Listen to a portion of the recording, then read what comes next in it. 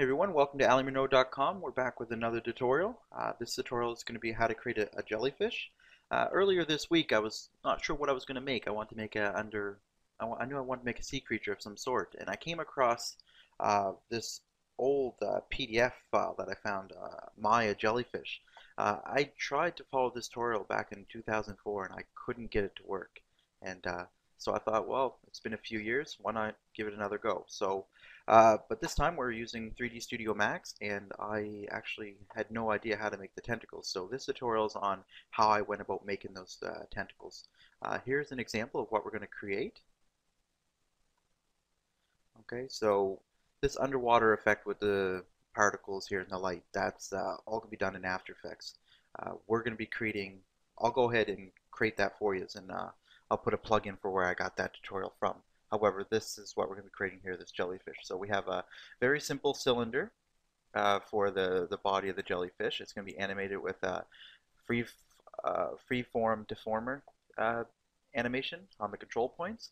Uh, these tentacles here in the middle, they were just created with a plane noise modifier along with some noise controllers in the uh, bend and wave modifiers. So they are very subtle, but they do animate with water.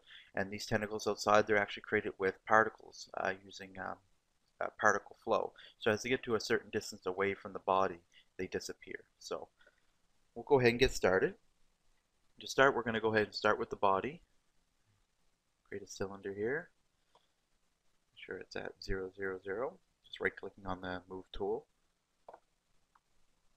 Alright, we're going to lower our sides here down to 8. We're going to be using a mesh smooth on this anyways. Alright, I'm going to throw an edit poly modifier on top of this guy. We're just going to start sculpting uh, the jellyfish out here, just uh, more or less as a default position, so not when he's stretched or ready to, uh, when he's sucking in water. We'll just bring it to right about this kind of state here. Maybe a little bit rounded here, just a tiny bit.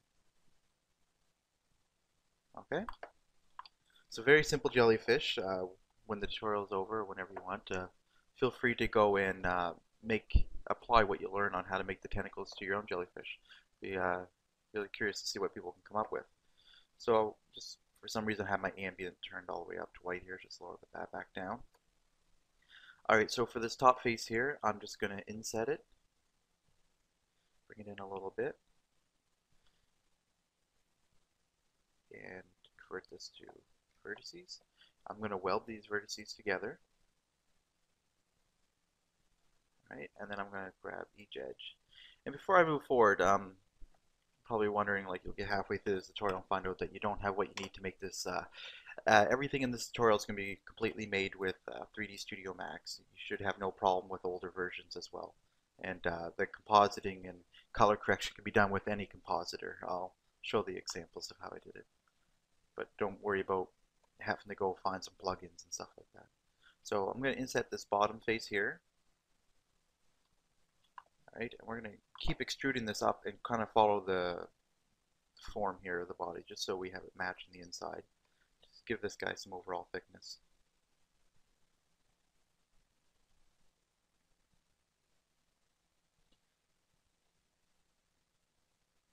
Now we could have used the shell modifier for this, but we're not trying to follow the exact silhouette of this guy.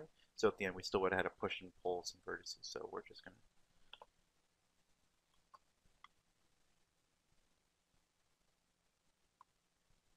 this around. That's essentially all I really want to get, something like that. And we're also going to have a, a torus sitting inside here, this is where the interior tentacles are going to be connected to. And we don't need as many segments on that as well. This will be actually barely seen at the end, so.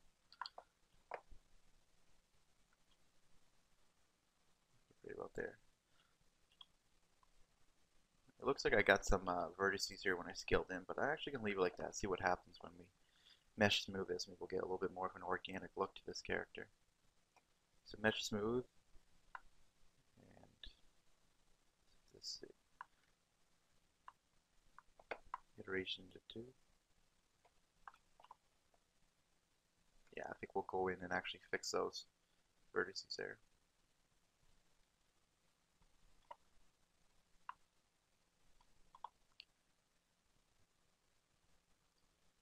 Okay. Alright, so simple enough. That's our jellyfish. So what we're going to do is I'm going to just lower my iterations down one for here, just while I'm animating this FFD deformer. So we're going to grab freeform deformer 4x4x4. Let's click on that.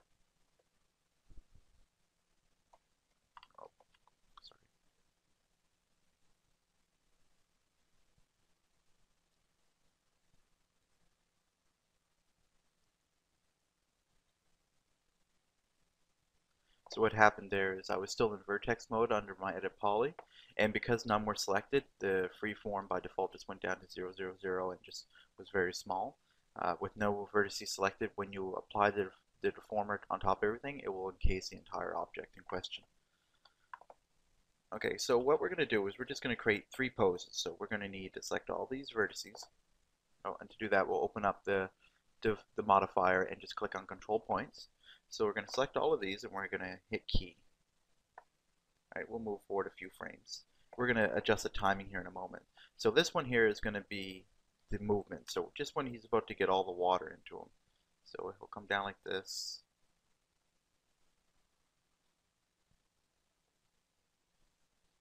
Probably squash down a little bit.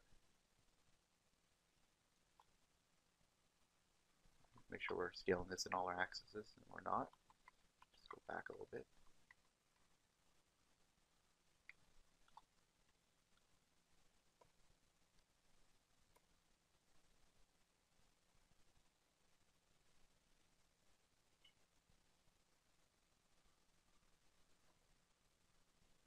Okay, and all this stuff can be changed later on because we're going to be cycling our keys. So just to come in here and change the way our animation looks won't be difficult at all.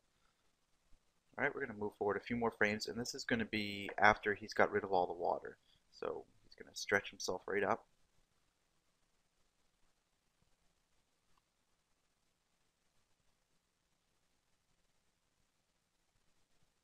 Bring this down a little bit. He'll use this muscle here to push all the water out. Okay, so to get this uh, torus connected inside the jellyfish here, what we're going to want to do is go back to our initial position. So this is where it starts. If we connect this uh, torus into the, uh, the model at this point, then he'll actually start deforming while he's already outside the, uh, the body of the jellyfish. So we'll go back to frame one, go down to edit poly, and we're just going to attach that torus. And we'll make sure that we have a vertex, we're outside of vertice mode here. Just click on edit poly We'll go up to our freeform and he'll deform with that properly now. Okay, so these are this is our poses that we're going to use. And we're going to have to get this timed out, so I'm going to give it about 200 frames of animation. Alright, we know our first pose is going to be um, maybe 60 maybe. We'll go into stretch pose rather fast. And then he'll come back to this pose, and this one will be kind of slow. Okay, so watching the timing here, we're going to go, this is where he absorbs the water, he pushes it out to give him some momentum, and then he comes back down. So I think we are going to be moving this guy with um, a helper object, but I think what we're going to do is actually pull these vertices out, try and animate it a little bit at this level. Let's turn our auto key on here, we'll just move it up a little bit.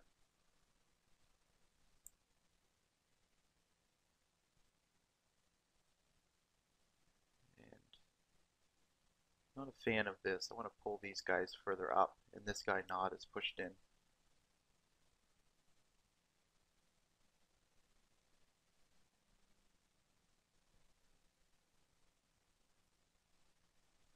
Right, and actually all these guys are maybe a bit too high.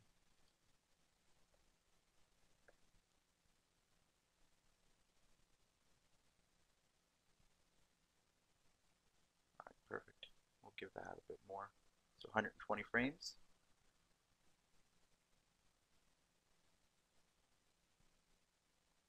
Okay, great.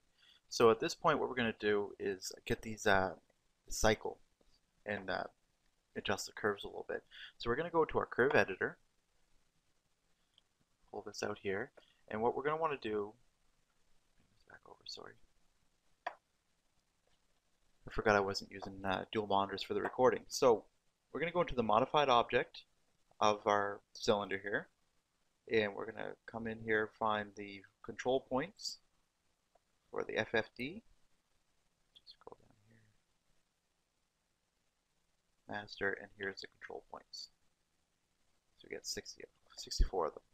So what we want to do is select all of them at this. And we're going to go up to controller, out of range types, and we're going to set this to relative repeat.